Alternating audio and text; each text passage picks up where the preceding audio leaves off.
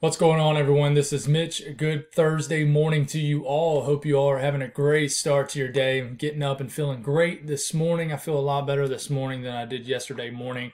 I just didn't have the energy that I wanted to have yesterday, but feeling a lot better this morning. Hope you guys are feeling great too. Got you a weather update on what's going to potentially happen specifically for today, May the 19th. And, uh, you know, the main topic today is going to be severe weather. There's going to be two areas. One area is some, an area we really need to watch, is and that's for the north central U.S. areas like Iowa, Wisconsin, and maybe surrounding portions of other states surrounding them states. So we also are watching for severe weather all the way from portions of Missouri all the way to the uh, Carolinas. A little bit of a zonal flow setting up with some energy could, that could certainly spark some severe storms uh, today. It's just whether or not they fire or not. So that's what we're. That's what we're going to talk about in this morning's video. So if you guys have not subscribed, definitely consider doing that.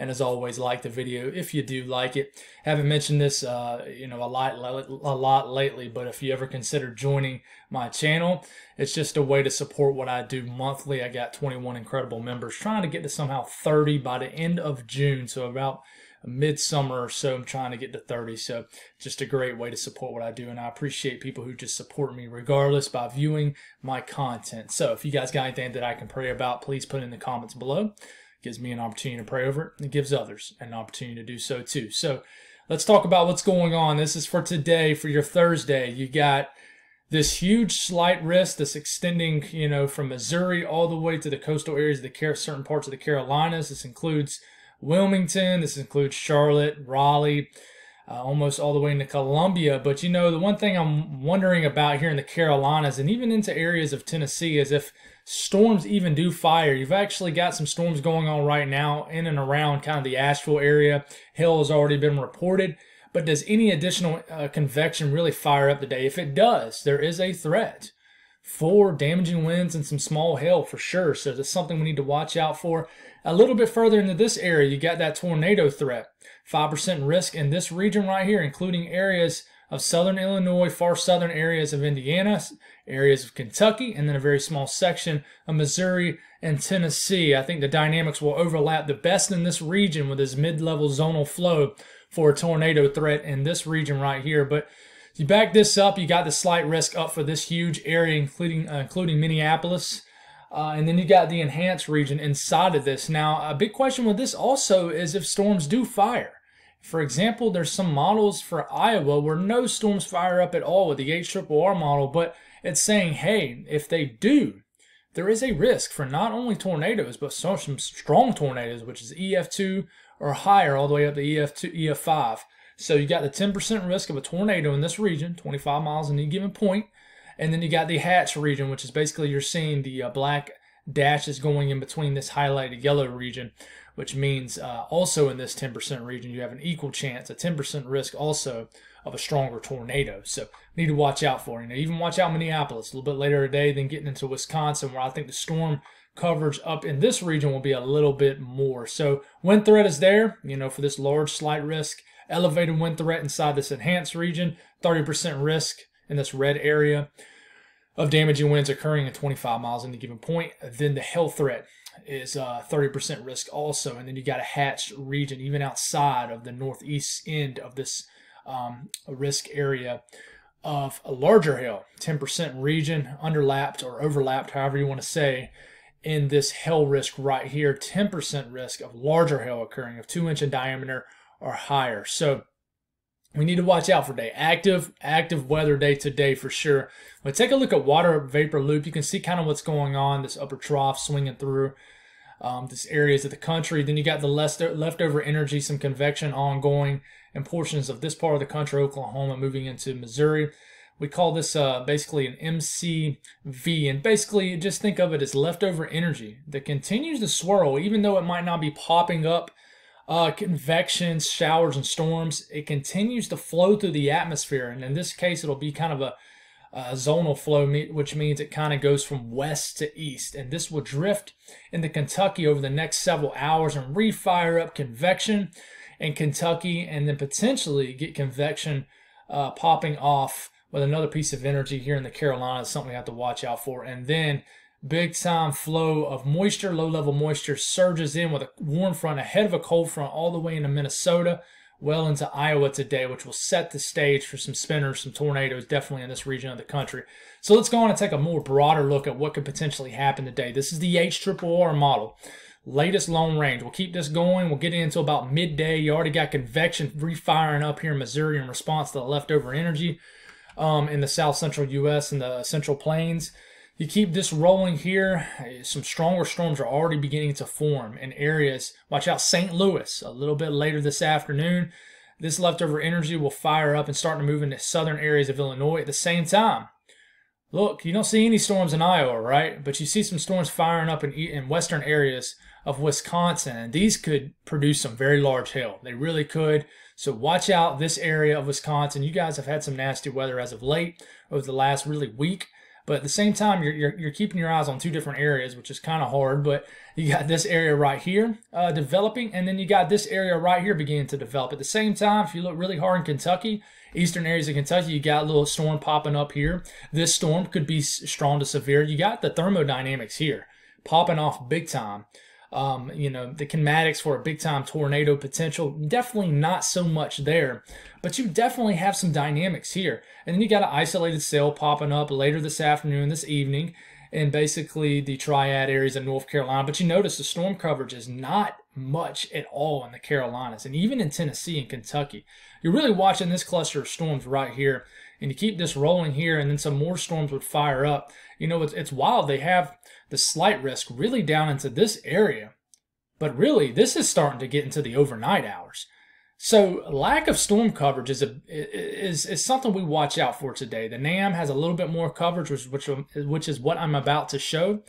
But you know, you got the slight risk up for this region, but the HRRR model doesn't like the idea of a whole lot of convection firing up. But the Storm Prediction Center, which are the professionals, um, based off soundings, they do like the idea of storms popping up. In fact, you look at around 9, 10 p.m., you got storms firing up in eastern areas of the Carolinas, which I know is a little bit harder to see. But you really watch out for this region right here. And then up here in Wisconsin, you know, I'll get a little bit closer look at Wisconsin here. Let's find my states um, for my folks in Wisconsin. These storms could be, you know, pretty dangerous. We need to watch out for these large hail in the middle of Wisconsin. But you notice down here in Iowa, nothing really pops up, but you got an enhanced region up. So it's saying, hey, you know, there's a limiting factor on storm development in this region, but if they do form, you have overlapping of dynamics, and you need to really watch out here with a basically a warm front riding up into this region, right into here with, you know, basically two different areas two different directions of winds uh, going against each other puts a spin to the atmosphere, obviously, and creates these spinnings of these updrafts that we need to watch out for. But, you know, this coverage of storms, you know, this is this afternoon. Watch out, Green Bay. You know, watch out even northern areas of Michigan. You know, this is the area where the HRRR model likes the idea of a lot of storms popping up here. But, you know, in North Carolina, for example, where you do have a slight risk of storms, the storm coverage isn't that big at all. You got a couple isolated showers and storms popping up. So it's saying, you know, even in South Carolina, you got a slight risk up, but absolutely no convection really gets going up per the HRRR model. Could be wrong though. NAM, a little, a little different. We're getting into this afternoon. You got showers and storms popping up. A little bit more widespread in areas of uh, the western areas and the upstate areas of South Carolina, western areas of North Carolina. A little bit more convection popping up. In fact, some pretty strong storms, maybe some severe storms popping up in and around the Charlotte area and surrounding towns and cities. And then up here, you know, in Wisconsin, southern areas of Minnesota, you got those storms firing up this evening. At the same time, you're watching these clusters of storms too. But I'd say the HRRR model and the NAM look uh, somewhat different. You know, it quickly evolves whatever whatever energy right here that pops up pops off here in these regions um, right here in southern Minnesota, areas of northeast Iowa, and then areas of Wisconsin, quickly kind of forms it into a line of storms. So congeals it into more of a linear thread as we get into the late evening hours in this region. So it's a big question here. And then it evolves into a big old line of storms. So we need to just try to figure out what's going to happen today. You know, we can model watch all day, but we really need to see real life. That's why I always mention, you know, download a radar for sure. But, you know, watch this area right here in southern sections of Illinois and Indiana. There could be a, definitely a tornado threat today. And even if any storms get popping off in Kentucky, enough of a mid-level flow, you know, you're probably going to have a isolated threat for a tornado in Kentucky for sure. For my folks here in the Carolinas, you know, if we look, let me get down to North Carolina. Look down here, the NAM does like the idea of some big storms popping up and moving kind of from the northwest to southeast, kind of a northwest flow, if you will, of storms. And these really fire up uh, around Hickory Point South, watch out Shelby. And then it wants some big time storms around dinner time and the rush hour for areas like Charlotte, Rock Hill. And these move through, maybe weaken, strengthen. But um, I tell you what, there's a lot of areas of the Carolinas that definitely need the rain. But, you know, you look at the dynamics of play here. Big time moisture feed well north. You know, you get the rising of the warm front all the way into the late evening hours. These are dew points rising well into the 60s all the way up into Wisconsin. A little bit of mixing and cool, cold pools of air definitely showing up here. But, uh, you know, certainly a lot of low level moisture at play. And when you have that, you have high levels of CAPE, which means here, here's your CAPE levels, which shows kind of weird pockets of CAPE, which is that cold pooling we talk about, just more uh, stabilization of the atmosphere. But you got a lot of energy firing up here in the southern sections of the Ohio Valley and the Mid South. And you got CAPE levels definitely spiking pockets well above 3,000, 3,500 joules per kilogram at the surface, at the surface, which is not always what we look at. It's just something we look at. So a lot of energy right off here, you know, for sure popping off. We look at everybody else as a whole as far as moisture. The only thing we really watch for is the northeast, where we'll have some lingering showers, but this would be not really in the way of storms, uh, just a kind of uh, not necessarily an all day, but the interior northeast, Vermont, New Hampshire, and then getting into Maine a little bit later this afternoon. Just some widespread rain is definitely possible. Some showers certainly possible for southern areas of New England that we need to watch out. Then you're just daily pop up showers and storms for Florida, like you guys always see. Very hot day.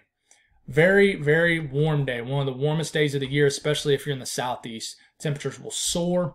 You can already feel it in the air this morning. It feels like a summer morning here in the Carolinas uh, working out this morning. I sweated harder than I have in 2022 so far.